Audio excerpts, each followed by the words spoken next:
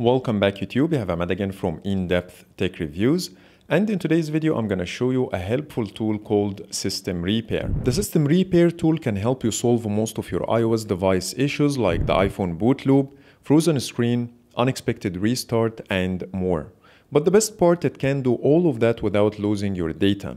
So let's take a deep dive in the System Repair tool to know more but before getting started, let's make sure to subscribe and hit the bell icon to get notified every time I post a new video. So let's jump in.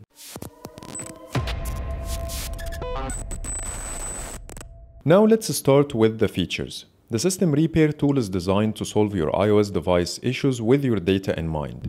Usually when you encounter an issue that doesn't allow you to use your iPhone, the only option that comes to your mind is a software restore using iTunes, which is correct, but what if you don't have a backup for your data? And if that's the case, restoring your iPhone will be a so painful step to take. With this tool, Wondershare claims that they can fix most of the critical issues you may encounter with your iOS device, like iPhone stuck in recovery mode, stuck in DFU mode, white screen of death, iPhone black screen, boot loop, unexpected restart, and more without losing your data. But before showing you how to use it, let me quickly show you the installation process. Just click the link in the description below and click on download now and it will download the installation file compatible with your computer, either Windows or Mac, and in my case it will be Windows. Run the file, wait for a few minutes for the installation to complete, click on start now and you are good to go. And here's the Dr.Fone Toolkit interface showing on the screen and you can click on the system repair tile to get it up and running. Now the tool is giving you two options, either standard or advanced.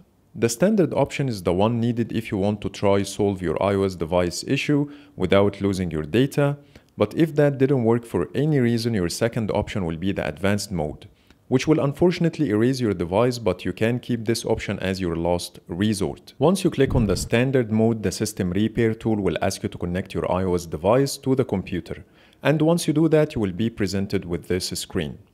It will show you your iPhone model, the software version it's on, and the three other buttons. The download button will allow you to download the software using your browser, which is convenient because you will be able to keep the software image at any place you want on your computer and the select button will allow you to browse your files to locate the software image if you already have it downloaded or you can simply hit the start button and the tool will download and install the software on your device. So now let's hit the start button and once you do that the automatic download process will start and as you see it's downloading a 3.98 gigabytes file which is the iOS 13.5.1 image. After the download finishes you will get another screen with the button called fix now and once you click on it the tool will install the software on your iPhone. And here we go. I installed the software on my iPhone 7 Plus and it works as expected with all the data on the device. And when it comes to the advanced mode, it works exactly the same as the standard,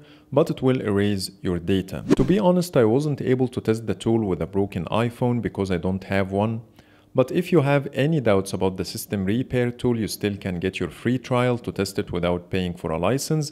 And even if you paid already, you still have a 7 days money back guarantee policy in place. And when it comes to the pricing, now you can see all the pricing options on the screen and you can pick the one that suits your budget.